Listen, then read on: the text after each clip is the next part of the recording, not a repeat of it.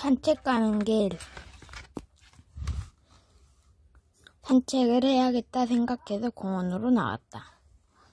공원에 오면 이 동네에서 가장 오래된 나무가 있다.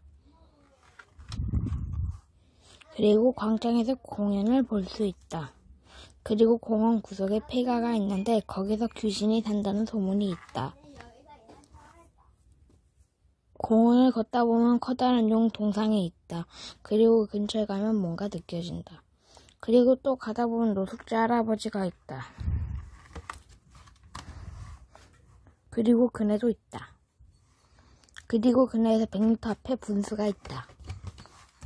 그리고 골동품 가게가 있다. 그리고 마트가 나온다.